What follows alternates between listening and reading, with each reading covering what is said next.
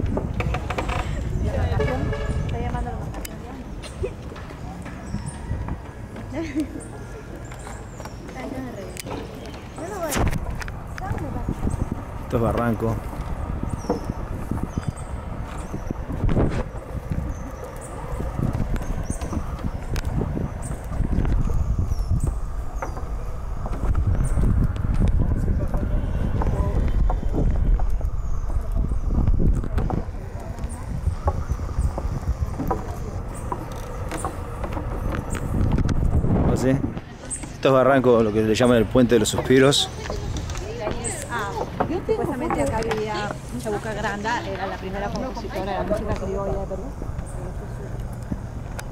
Un momento con sus famosos valses de caballo, de paso. Muy bueno por acá, muy interesante.